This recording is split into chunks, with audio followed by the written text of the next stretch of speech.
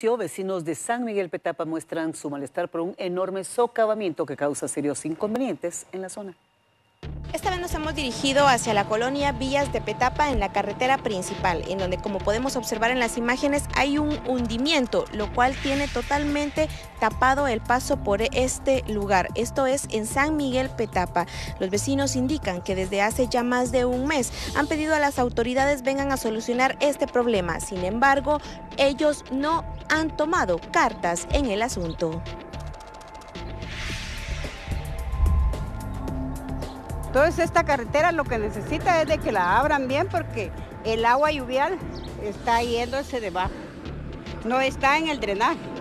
Porque nosotros vivimos, yo vivo ahí en la Cerro Avenida y entonces ahí bajó el nivel del agua porque decimos, ahora ya no se llena acá.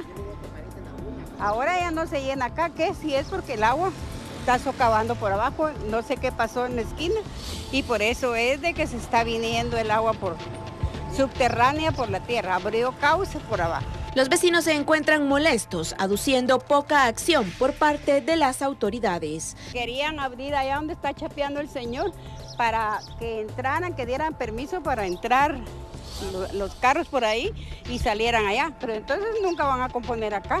Acudimos a la municipalidad, quienes explicaron la situación. Ahí lo que se descubrió es que vecinos ilegalmente conectaron sus tuberías de aguas fluviales y esto provocó durante bastante tiempo problemas, pero hasta ahora que ya descubrimos cuál es el problema es que nos damos cuenta que el socavamiento viene por todas esas conexiones ilegales.